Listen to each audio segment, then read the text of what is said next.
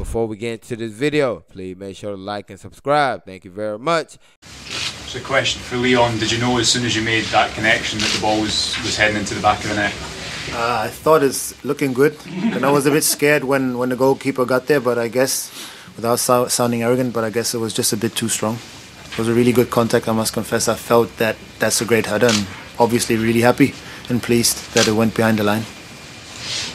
Uh, congratulations to, to both of you, but my question for, for Leon. Tonight, the defensive shape, when it was, even though it, it changed, was, was solid and it had to be because they were clearly such a good team at moving the ball.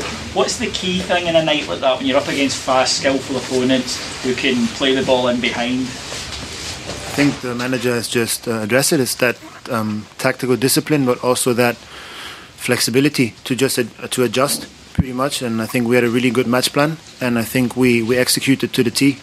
And for me, it's all about preparation, and then even in-game management. We did little adjustment, as the manager said, in half time, and even during the games, we always get instructions from the side. So I think that just, yeah, it's just perfect teamwork in that in that sense, and a great uh, managerial job as well.